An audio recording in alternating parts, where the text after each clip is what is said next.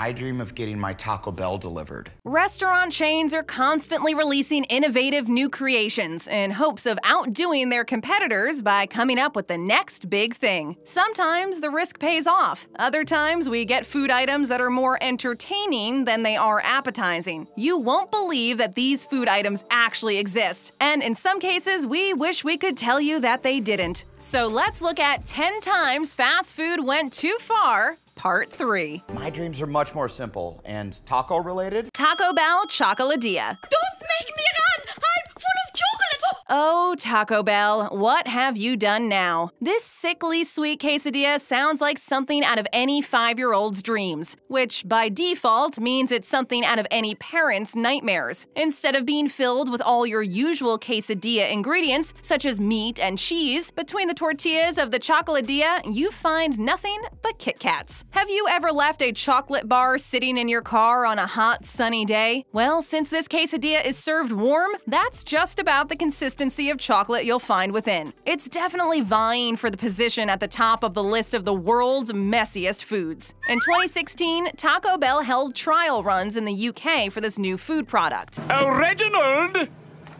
I disagree! They were, apparently, deemed to have been successful because Taco Bell brought the Chocoladilla over to the US for a limited run in fall of 2017. It only cost $1, which might actually be less than you would spend on an actual Kit Kat bar. Odds are, though, you would regret the decision to cough up an extra bit of cash to buy the chocolate bar less than you would the decision to subject yourself to the Chocoladilla. However, Nutella on toast is widely regarded as a top tier breakfast food, so maybe the bread and chocolate combination is one that generalizes to fast food as well. Like they say, don't knock it till you've tried it.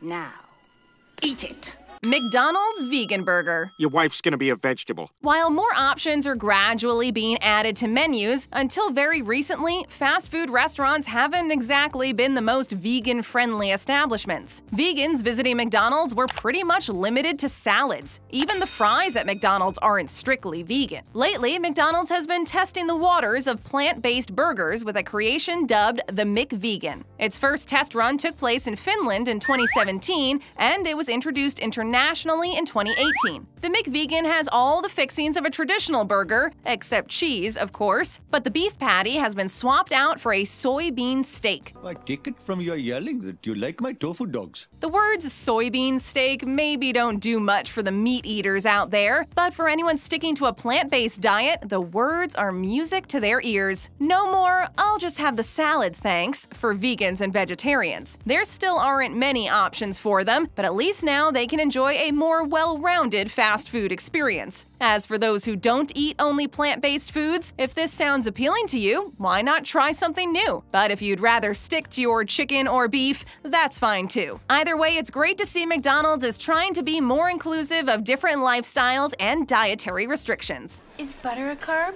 Taco Bell Volcano Crispy Chicken Chips. I want my chips. Taco Bell is back to shock us again with their new Volcano Crispy Chicken Chips. They look like tortilla chips, they're shaped like tortilla chips, but are they tortilla chips? Well, this wouldn't make for a very exciting entry if they were. No, these triangular chips are actually fried chicken. It's revolutionary, it's bizarre, and it's the food item we didn't know we needed. These crispy chicken chips are paired with Taco Bell's signature lava sauce, a spicy cheese condiment that tastes so good you won't mind the fact that your mouth is on fire. The lava sauce has popped on and off the Taco Bell menu over the past few years. Krakatawa!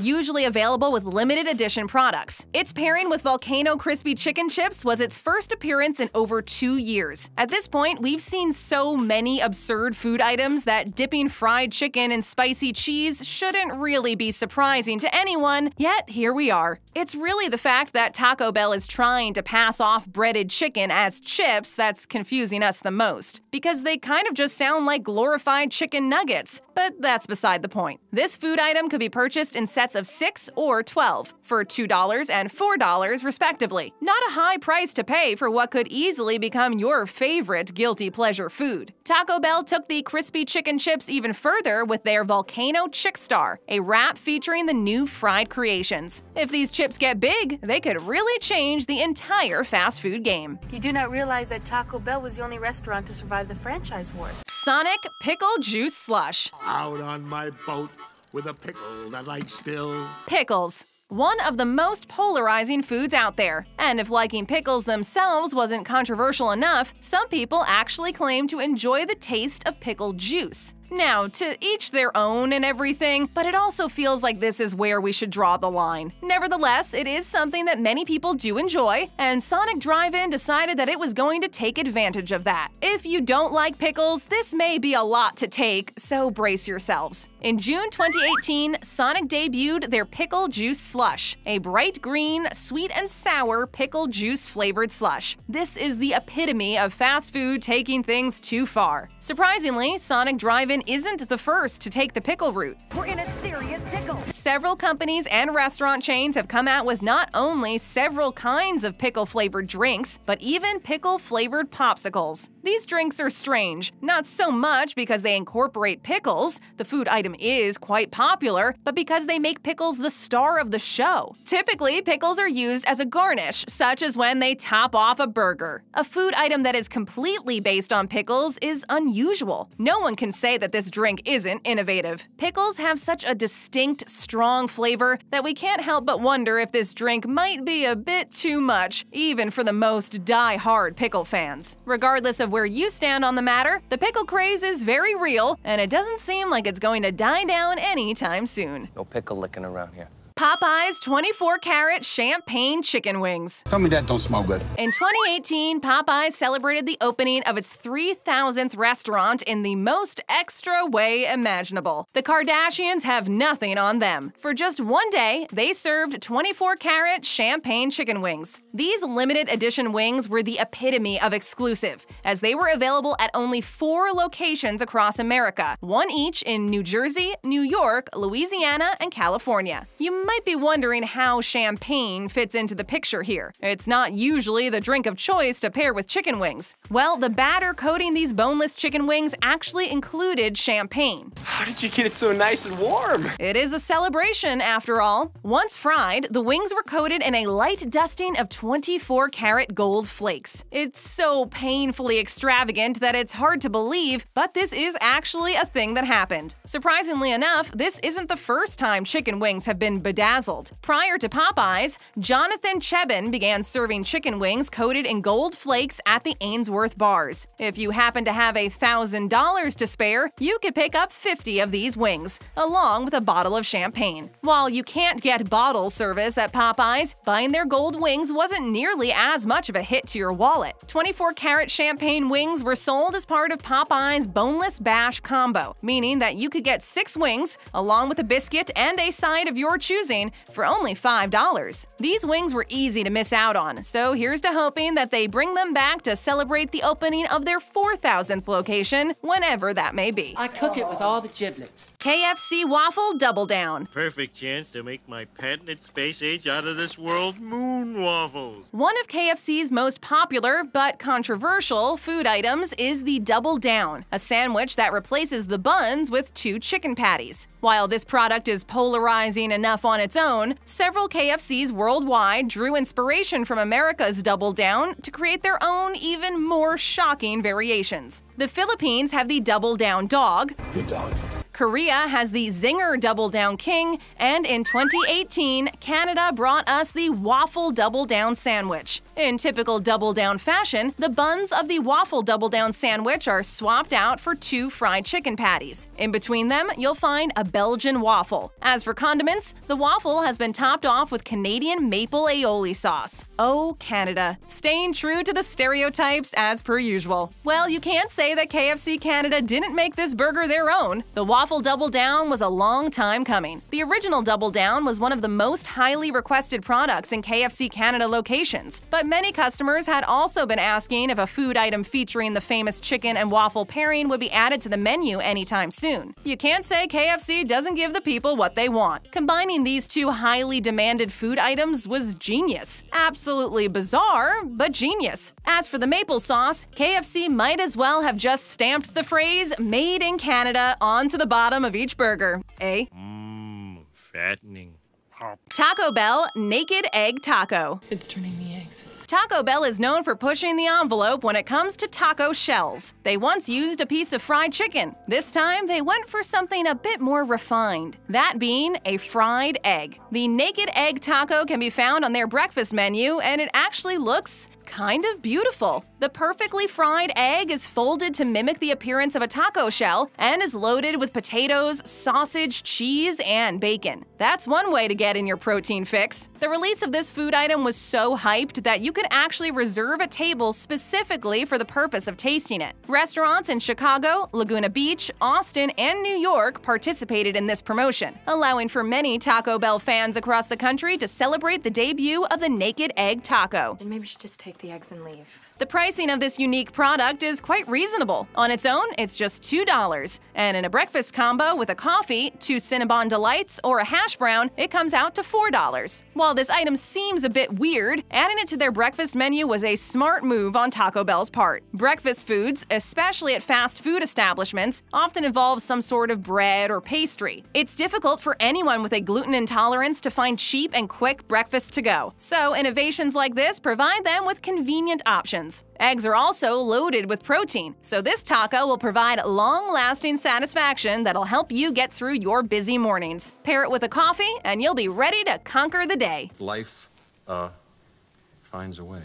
Pizza Hut Cheeseburger Crust Pizza. Look at that crust! This Pizza Hut creation is ridiculously aesthetically pleasing. Between the shape and the colors, it looks like a work of art. Bring on all the Instagrams. They say don't mess with perfection, but that's exactly what Pizza Hut went and did. They decided to reinvent their pizza crust by adding, wait for it, 10 mini hamburgers around the outside. The beef patties are almost folded into the crust, which sticks out of the circumference of the pizza like the petals of a flower. Like the rest of the pizza, the hamburgers are topped with cheese, which has melted to gooey perfection. As unappetizing as this sounds, you still might think that it could be fun to try, just for laughs, right? Think again. A large will cost you about 30 bucks. Pizza, anyone? What's kind of awkward about this pizza is that it's basically Pizza Hut ripping off their own idea. Not long before the release of the cheeseburger crust pizza in the United States, Pizza Hut locations in the Middle East came out with the cheeseburger crown crust pizza. There's no need to describe the latter to you in any detail because it's literally identical to the former. The cheeseburger crust pizza is marketed as having all the fun without the bun, but it looks like a stomach ache waiting to happen, which can probably be universally agreed upon as not being anyone's idea of fun. This pizza is just confusing because with the way it's designed, you would probably just end up eating the pizza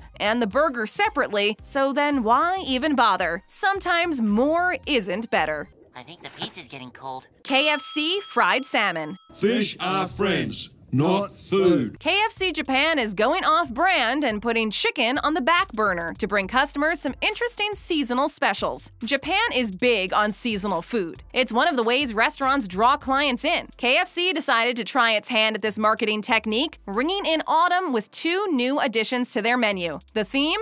Fried salmon. For less than $4, you can buy yourself a fried salmon sandwich, which, other than a panko breaded salmon fillet, contains lettuce, tartar sauce, and basil sauce. All of this lies between two incredibly soft and fluffy white buns. The other new item is a simple fillet of fried salmon. Like the fillet in the sandwich, it's coated with panko breadcrumbs. It's cooked as well as any fried chicken you can get from the fast food chain. Crunchy on the outside, but still soft on the inside. I prefer not to get grease on my blanket. The condiment of choice for this product is tartar sauce, which is used on the sandwich as well. The main reason this dish is so jarring is that salmon is pretty universally acknowledged as being one of the healthiest foods out there. Doctors are constantly recommending that you eat a fillet of salmon for dinner. This probably isn't what they were talking about. Fish and chips is already a thing, so this shouldn't be too hard to wrap your head around, but it still feels weird coming from KFC. It's interesting to see them branching out into seafood. They've done it before in China with the shrimp burger, but after so many years of seeing KFC exclusively produce chicken, it's only natural to be skeptical. You're gonna need a bigger boat.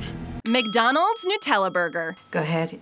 It's your favorite. Italians are usually praised for their delicious foods. Pastas, pizzas, cannoli, gelato, sweet or savory, it's all amazing. But have they taken it too far? The country that, during World War II, gave us Nutella has now done the unspeakable. They put it on a burger. The Sweety con Nutella is a new dessert item on the McDonald's menu, available only at locations in Italy. It's a simple burger, just two classic buns filled with a thick layer of everyone's favorite chocolate and hazelnut spread. It's reminiscent of Taco Bell's Chocoladilla, which isn't necessarily a compliment. The Nutella burger is designed to look like it contains a beef patty, but never fear, there aren't any unwanted surprises waiting inside. Go on, taste it. It's just pure chocolatey goodness. Talk about carbs on carbs on carbs. The packaging of the Sweety Con Nutella is the same as that of any other McDonald's burger, which is actually a very cute touch. This burger feels a bit unnecessary, as you could easily make it at home if you wanted to. And did the world really need a dessert burger? We could question McDonald's decisions all day long. Instead, we'll just accept the existence of this burger and move on. Hamburger buns are usually paired with savory fillings, so it's strange to see them utilized in a dessert. It's perfectly understandable if you plan on skipping this new creation and order a McFlurry for dessert instead. Sometimes the oldies are, in fact, the goodies. While some people might prefer just sticking to classic Nutella on toast, if you're feeling adventurous, treat yourself to this chocolate sandwich.